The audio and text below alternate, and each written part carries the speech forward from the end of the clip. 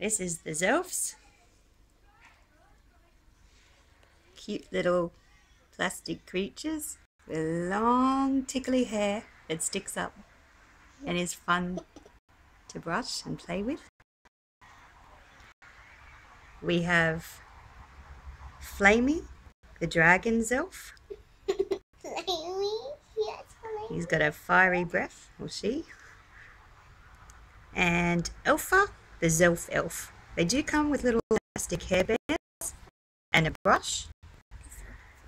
But Charlotte has just as much fun playing with her hair and styling it with her hands. Can you turn them around and show us the back of the Zelfs? Got lovely paintings and designs on their backs. Turn them around again.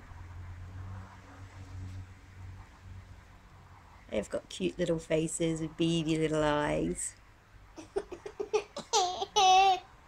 They're lots of fun to play with, aren't they, Charlotte? yeah.